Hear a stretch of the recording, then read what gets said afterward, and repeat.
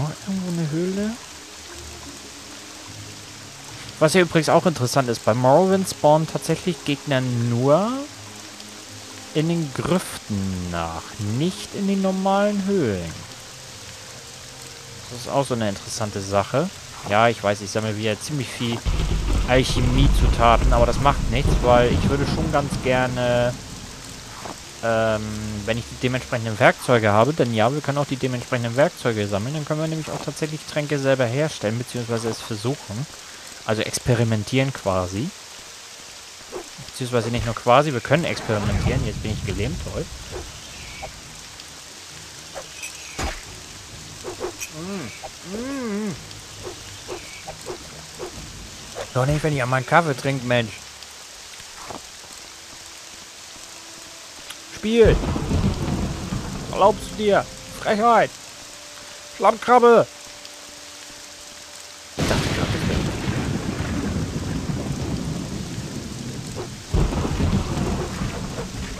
Ich dachte schlag dich tot, du Sau!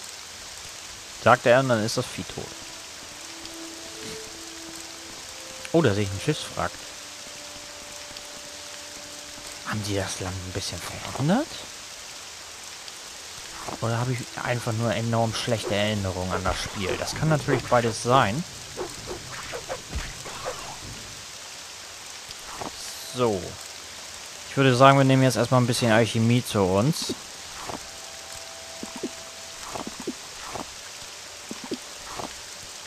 Vor allem bin ich mal gespannt, wann sich die Alchemie wieder so ein bisschen erhöht bei uns. Wäre recht nett, wenn sie sich mal wieder erhöhen könnte. Weil die erhöht sich momentan recht selten. Das liegt auch wahrscheinlich daran, weil wir recht wenig zu uns äh, nehmen. Weil immer wenn diese Anzeige kommt, so von wegen, ja, hat keine Wirkung auf euch, äh, dann haben wir es nicht eingenommen. Also immer wenn, wir, wenn da nichts steht, dann heißt es, jo, war erfolgreich. Dementsprechend wird dann auch die Alchemie, glaube ich, so ein bisschen geskillt. Wo ist denn die Alchemie eigentlich? Ich guck mal eben kurz. Alchemie, da ist sie. Auf 9 ist sie. Und wie man sieht, der Balken war schon recht hoch. Also wenn jetzt gleich mal die Anzeige nicht kommt, dann werde ich gleich mal auf die Alchemie gucken. Beziehungsweise man kann ja jetzt auch schon kurz gucken. Also jetzt hat sie sich gerade noch nicht verändert. Ja, keine Wirkung. Keine Wirkung. Keine Wirkung. Keine Wirkung. Keine Wirkung. Keine Wirkung kennen wir schon. Noch Meer hat auch keine Wirkung auf mich. Natürlich nicht. Nichts hat eine Wirkung auf mich.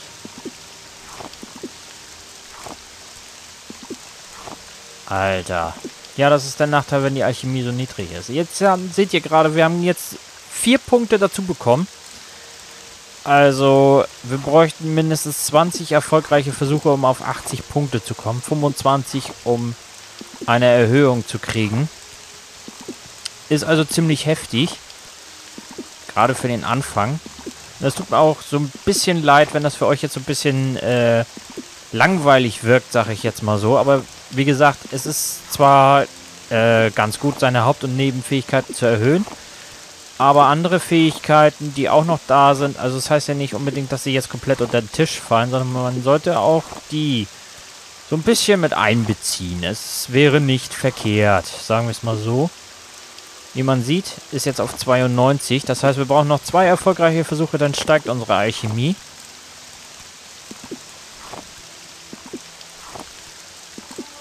Ja, Alchemie auf 10, sehr schön. Bin mal gespannt, wann, die, wann das erste Rezept freigeschaltet wird. Weil ihr seht ja die Fragezeichen. Es gibt äh, pro Alchemi alchemistischer Zutat gibt es vier Stufen.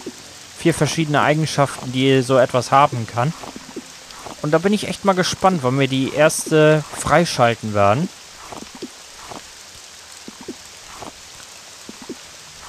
Ich würde echt gerne mal zu dem Schiffswrack gehen. Bin ich ja ganz ehrlich. Ich glaube, ich gehe da mal auch mal hin. Ich wusste es. Natürlich, die blöden Schlachtfische sind wieder hinter uns. Ja, ist ja gut. Ruhe! Aua, au, au, au. Autsch! Ja, die haben hier ordentlich was drauf, die Schlachtfische. Auch dafür, wenn äh, Schlachterfische, auch wenn sie recht klein sind.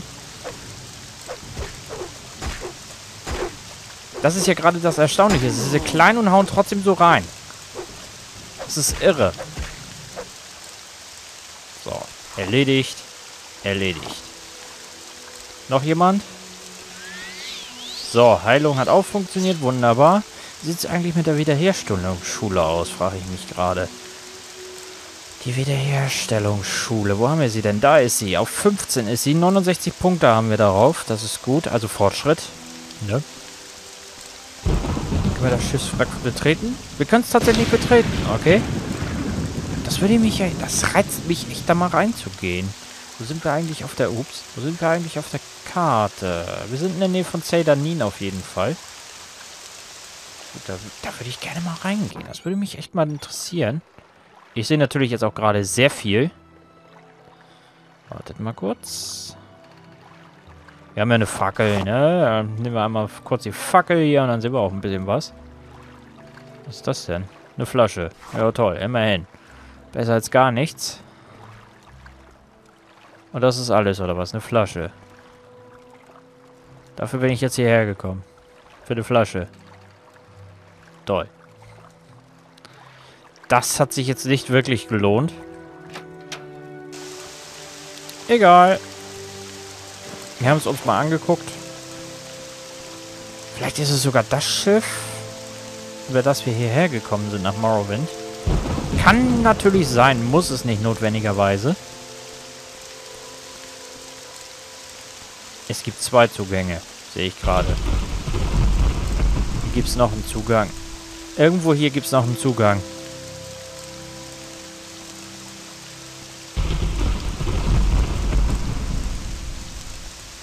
Ja, bestimmt nicht so.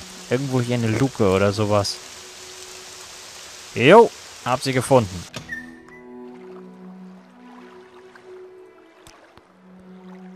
Meine ich doch, ein Schiff ist doch nicht einfach so erkundet. So. Ein Eimer. Treibendes Fass, wo nichts drin ist. Mist. Sie fackelt jetzt komplett aus? Ja, sieht so aus. Mist.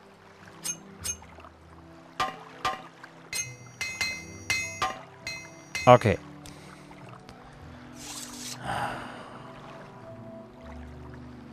Ich würde schon echt gerne sehen... Wir haben doch eine Reiselaterne. Ach nee, wir sind ja gestorben. Mist. Hätte ich jetzt gesagt, komm, wir nutzen einfach die Reiselaterne.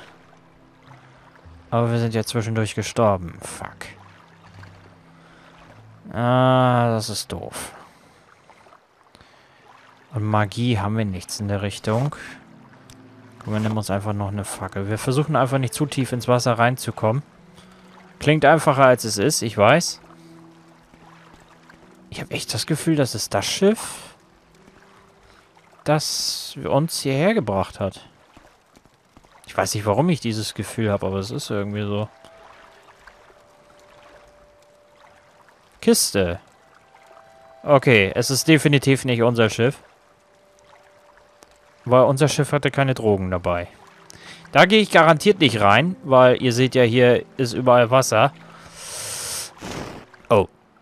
Wäre also keine gute Idee, genauso wie es gerade keine gute Idee war, mit der Fackel ins Wasser zu gehen. Also hier ist es tatsächlich so dann, dass die Fackel... Ja, die Fackel ist hinüber. In, Obli in Oblivion und in Skyrim ist das, glaube ich, anders. Aber hier ist es dann tatsächlich so, wenn wir eine Fackel ins Wasser halten, dann ist sie hinüber. Jo. Ist blöd, aber es lässt sich aber leider nicht ändern. Dann ist es halt so. Huch. Skattel nehmen wir mit. Was haben wir hier? Quammereier nehmen wir auch mit. Oh, eine Truhe. Oh, silbernes Langschwert. Dabei habe ich doch schon eins, ich weiß. Aber ich nehme trotzdem gerne nochmal ein weiteres mit. Ist ja nicht verkehrt, falls mal das eine kaputt gehen sollte. Beziehungsweise es lässt sich vielleicht auch ganz gut verkaufen. Wäre jetzt überhaupt immer noch auf dem Weg nach Seydanin oder nicht? Also hier schon so eine Frage, die würde mich jetzt tatsächlich interessieren.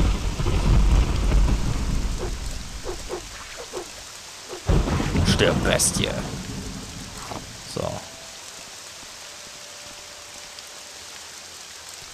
Natürlich looten wir auch wieder weiterhin die Pflanzenwelt. Kräuter-OP ist wieder da.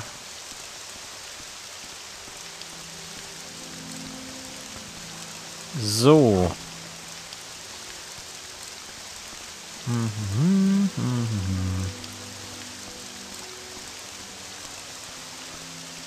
Ist das jetzt wirklich der richtige Weg? Ich kann mir das irgendwie nicht vorstellen. Doch, da hinten ist die Ahnengruft, okay? Wir sind also auf den richtigen Weg. Guck mal an. Ich jetzt einen total falschen Weg gegangen, seht ihr? So, sowas kann passieren, tatsächlich. Na, ich wusste es. Ja, die Schlachtfische sind, Schlachterfische sind leider mit der Zeit recht nervtötend.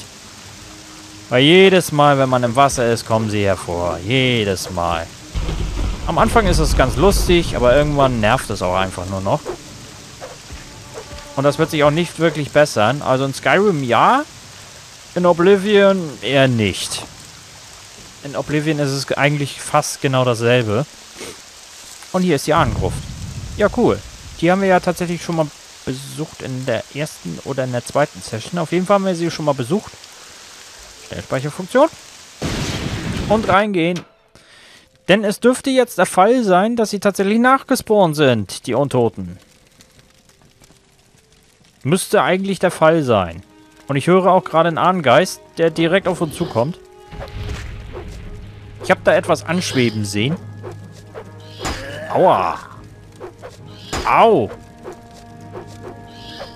Okay, den haben wir erledigt. Also ich muss tatsächlich sagen, Grüfte, hört sich ziemlich makaber an, sind tatsächlich ein idealer Punkt, um zu trainieren.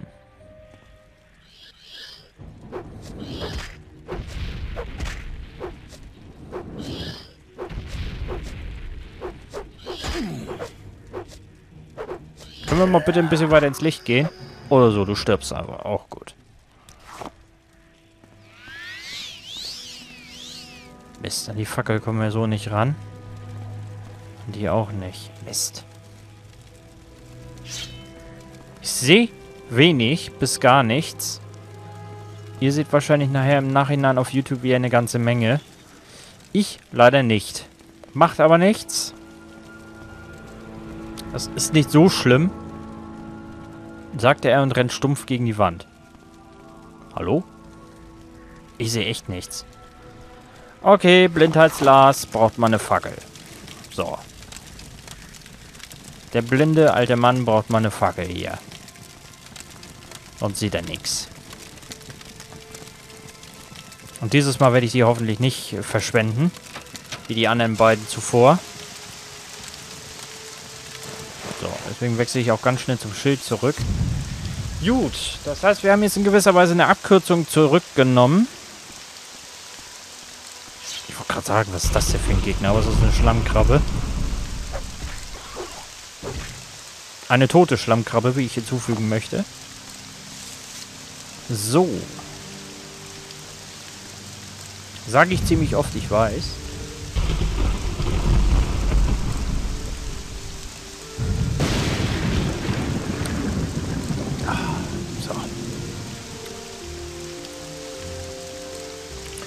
Treiben sich wieder zwei Gegner rum. Ach, so ein bisschen Training ist nie verkehrt, finde ich. Nebenbei handeln wir noch im Auftrag des Fürstenhauses Lalu, also was ist daran verkehrt? Richtig, gar nichts. Ist das eine Ratte? Ich glaube, das ist eine Ratte, ne? Jo, das ist eine Ratte. Und da ist der Quamma-Kundschafter.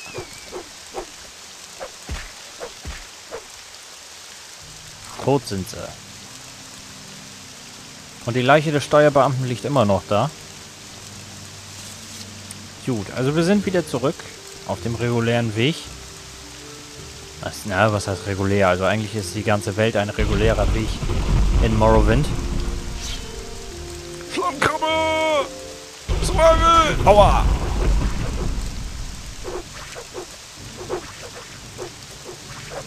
Survival!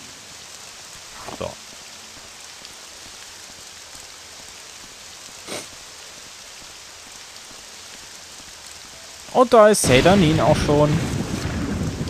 Ja. Ich würde mal sagen, wir sind zurück.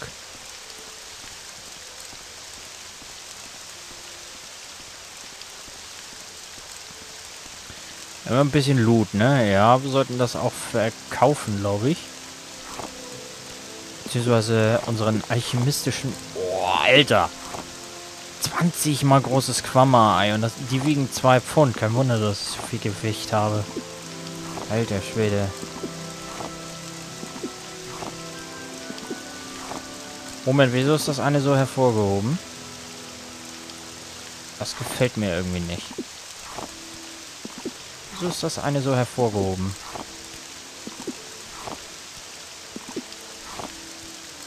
Friss die ganzen Eier. Leckere Dioxineier von den äh, Quamma. Quamma gibt es übrigens auch nur hier in Morrowind. Die kommen danach nie wieder vor. Meines Wissens nach. Also es gibt unterschiedliche Gegner in den The Elder Scrolls Teilen. Die Quamma zum Beispiel, die kommen wirklich nur hier in Morrowind vor. Oder zumindest erinnere ich mich nur an Morrowind an sie. Kann natürlich auch sein, dass sie noch woanders auftauchen, aber ich wüsste nicht. Denn wie gesagt, meistens ist es tatsächlich so, dass sie, dass die Entwickler ähm, die Gegner den, der Gegend angepasst haben. Also daher hat quasi jedes Spiel seine eigenen Gegner. Gut, bis auf die Schlachterfische, weil die sind so ziemlich in jedem der drei Spiele dabei. Zusammen mit den Atronacken.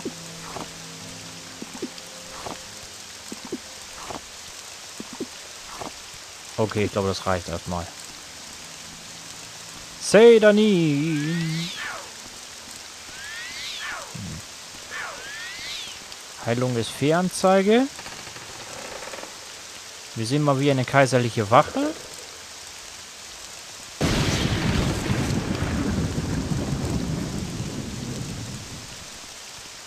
Vielleicht sollten wir nochmal den Steuerbeamten mitteilen, dass wir den Mörder gekriegt haben. Wäre vielleicht gar nicht schlecht. Ist ja schon eine ganze Weile her, dass wir hier angekommen sind. Zu dem Zeitpunkt, an dem ich das hier aufnehme, ist es schon eine Weile her. Wenn ihr es seht, ist es noch gar nicht so lange her wahrscheinlich. Äh, ich das sage. Ich habe gehört, dass ihr über seinen Mord Erkundigung eingeholt habt. Ich bin froh, dass dieser Fall nun abgeschlossen ist. Hier ist eure Belohnung, Viper. Es ist gut zu wissen, dass es noch Bürger gibt, die wissen, was sie ihrem Kaiser schulden. Euer Tagebuch wurde aktualisiert, 500 Draken dem Inventar hinzugefügt. Lebt wohl. Cool. Schöne Sache. Haben wir nebenbei nochmal 500 Draken abgestaubt. Finde ich gut. Jetzt rasten wir nochmal, bis wir geheilt sind. Ich würde auch gerne nochmal ein paar weitere Zauber kaufen, tatsächlich. Also nicht nur Wiederherstellung, sondern auch, äh, was weiß ich, Zerstörung, Beschwörung, solche Sachen. Dass wir uns mal so ein bisschen skillen können. Damit auch unsere Intelligenz ein bisschen weiter nach oben geht. Denn ihr erhöht ja auch gleichzeitig das Mana, das wir haben. Das heißt, mehr Mana, mehr Zauber, mehr Heilung. Und so weiter und so weiter. Und dann kann ich euch auch so ein bisschen was zeigen, was das Spiel so alles für Möglichkeiten bietet. Also es ist nicht nur, dass man wirklich nur im Nahkampf kämpfen muss. Man kann auch, was weiß ich, man kann sich auch auf Fernkampf spezialisieren. Man kann alles Mögliche eigentlich machen. Also es gibt nichts, was man hier nicht machen könnte. Diese verfeinerten Tränke wollte ich ja eigentlich verscherbeln. Das mache ich auch. So, das Buch will ich loswerden. Die Flaschen will ich loswerden, den Eimer. Habe ich sonst noch was, was ich loswerden will? Ja, eigentlich das zweite silberne Schwert, aber irgendwie, nö. Ich will mich davon jetzt nicht so wirklich trennen. Vor allem unsere Rüstung ist so ein schönes Durcheinander. Wir, ne? wir haben Knochenhelm, wir haben äh, und dann ansonsten hauptsächlich Chitin-Panzer und noch so ein bisschen eiserne Beinschienen. Also richtig schön provisorisch zusammengewürfelt einfach mal. Vor allem, wir können uns theoretisch sogar noch ein Gewand drüber werfen. Also das ist total geil. Also solche Möglichkeiten bietet wirklich nur Morrowind. Also das geht bei Oblivion und bei Skyrim nicht mehr, soweit ich das weiß. Gut, kann ich den nochmal mal zwei, drei Draken bescheißen? Kann ich, sehr schön. Zauber, was hast du denn an Zauber? Funken hat er.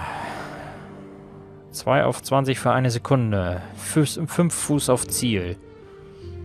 Vielseitigkeit, festigen Glück auf sich selbst. Eisbiss. Feuerball hört sich schon geil an. Aber Eisbiss ist ein bisschen stärker. Also ich nehme mal Feuerball, Eisbiss und Funken mit. Hand des Vaters nehme ich auch mal mit. Magieresistenz. Die Vielseitigkeit. Nehmen wir auch nochmal mit. Und das behalten wir erstmal äh, uns vor. Wir haben jetzt also schon mal ein paar mehr Zauber erworben. Schon mal ganz... Wie geht es euch? Aber mir geht's gut. Danke, dass du fragst. Danke. Es freut mich sehr, dass du fragst.